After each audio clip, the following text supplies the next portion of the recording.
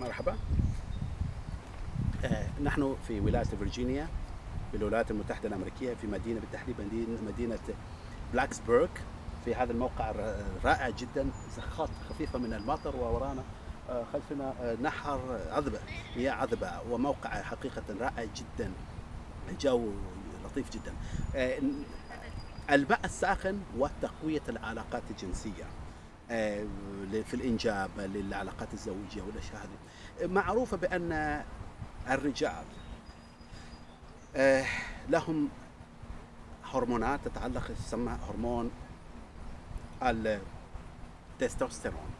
أما النساء يفرزون الهرمون تسمى هرمون الإنجاب وهي وهو نوعين من الهرمون أي الأستروجين والبروجستيرون الآن آه، بالنسبة يعني هذه الهرمونات طبعا هناك مجموعة كبيرة من الهرمونات التي آه، تتحكم في السعادة والاشياء هذه والكر والفر والاشياء هذه القلق والخوف إلى الاشياء هذه. آه، عموما في هرمونات الإنجاب التي ذكرناها بالنسبة للرجال والنساء طبعا يعني لو نرجع في ما اكتشف العالم الأمريكي دك الدكتور باتمانجليج الذي نص على أهمية تناول كأس ماء قبل تناول الطعام أي بربع ساعة إلى نص ساعة طبعا هو يشير إلى الماء. فتقوم الغدد بإفراز هرمون.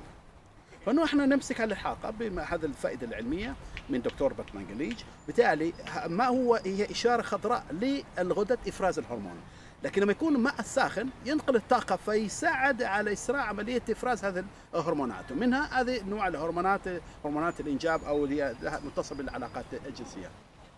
ولو نرجع بالقانون دينا- قوانين الديناميكيه الحراريه القانون الأول ديناميكية للحرارية ينص هذا القانون بأن الطاقة لا يمكن تدميرها أو أو خلقها بل تنتقل من جسم إلى جسم آخر أي من جسم حار إلى جسم بارد.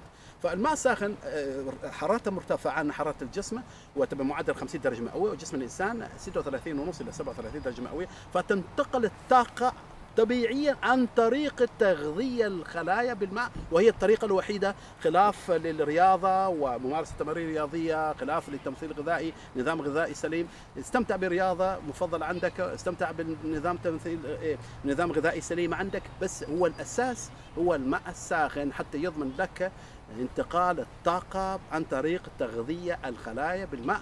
ويساعد هذه الغدد بإفراز الهرمونات بشكل السليم التي اسلفنا ذكر تتعلق بهرمونات السعادة أو عفوا هرمونات الإنجاب و- وهي تتعلق بالعلاقات آه، الجنسية والأسرية. بارك الله فيكم نسأل الله التوفيق لكم وأعزائكم حياكم الله.